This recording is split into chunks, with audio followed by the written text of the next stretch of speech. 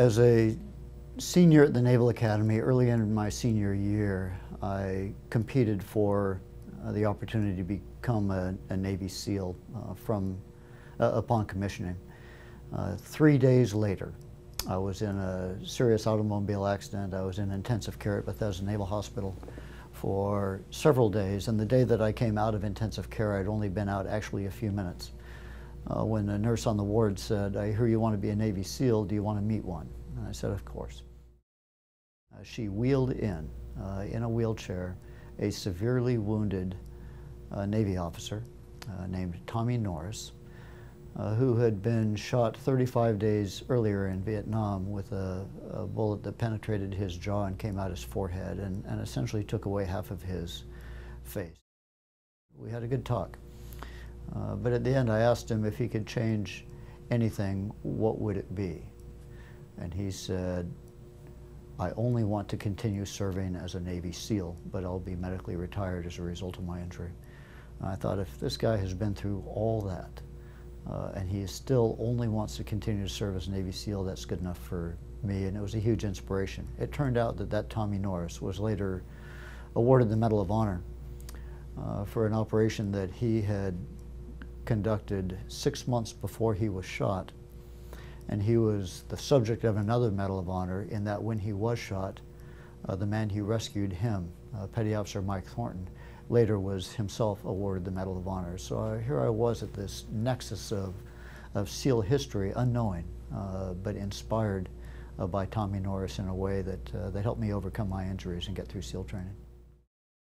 I grew up near Puget Sound and developed an affinity for the water early, but the water in Puget Sound is cold. And, uh, and I knew that if I wanted to scuba dive, I had to have a wetsuit. Uh, so when I was in my early teens, uh, I had a newspaper out, uh, but it wasn't enough money to buy a wetsuit. Uh, so what I did with that money was buy two gunny sacks of wetsuit scraps uh, from a local manufacturer eight cans of wetsuit glue and I laid down on a big table and my mother took a pencil and drew around my body uh, on a piece of uh, butcher paper. We moved the lines out.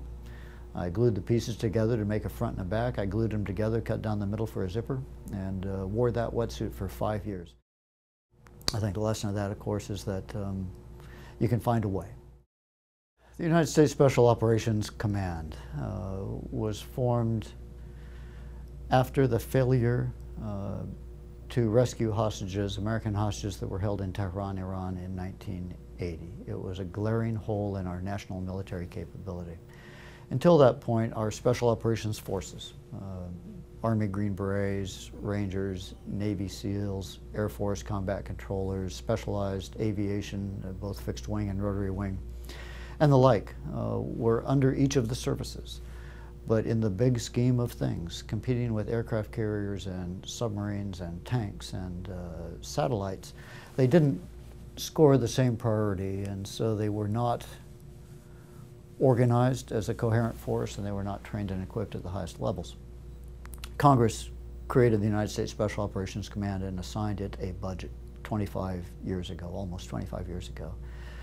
Uh, and that allowed this group to come together, to habitually train together, to develop joint tactics and techniques, uh, to become a widely capable uh, force that then served its commanders quite well. I think in terms of the um, raid during which Osama bin Laden was killed, there are a few things that we can say, a few things that are worth understanding.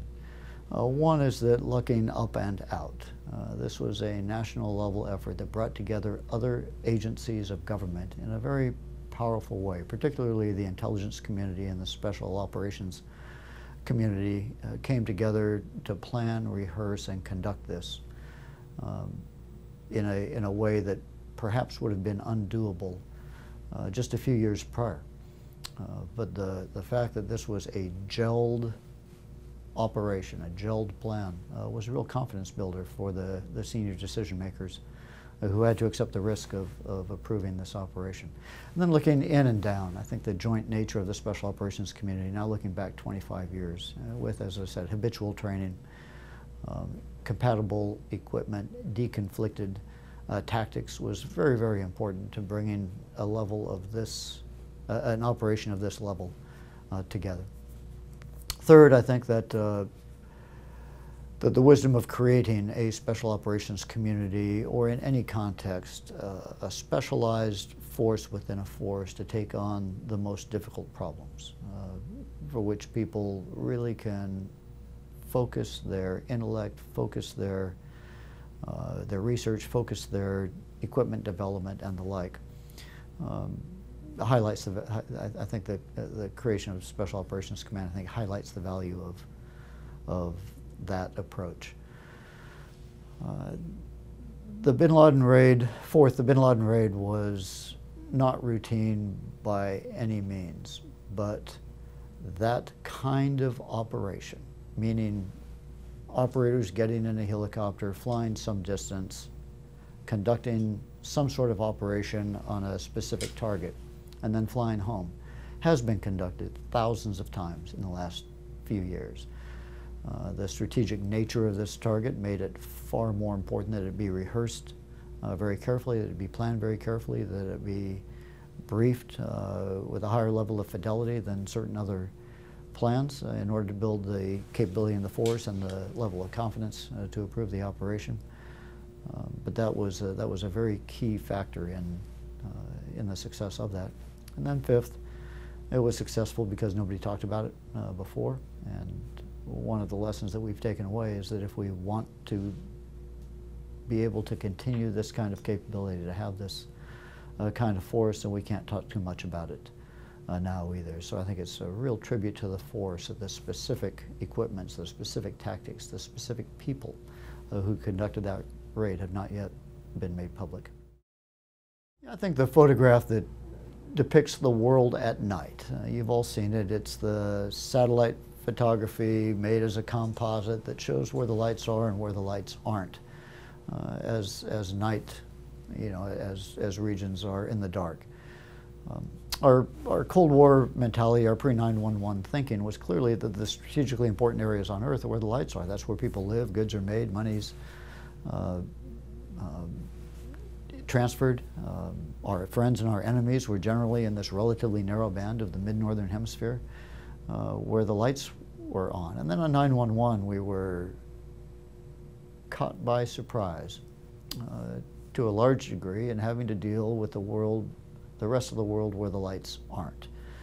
Uh, where open areas are ungoverned or undergoverned, where training camps can um, can be established, where borders are more porous and smuggling occurs, where societal conditions uh, contribute to recruiting of of people for criminal or terrorist uh, purposes, where airports are less secure and force can be projected through them. As we look back over the last few years at where the specific threats against the United States came from. Uh, they're traceable mostly back to where the lights aren't. And we found, uh, we found ourselves generally less prepared to operate in those areas, to deal with those areas, the politics, the markets, the military forces, um, all aspects of those societies, uh, than we were to deal with, uh, with the places where the lights are. Uh, so we're struggling to catch up.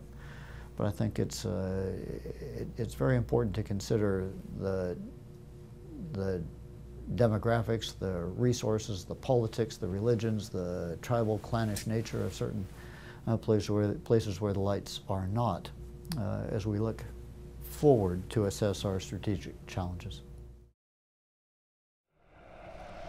It's a human legacy we want to leave behind us.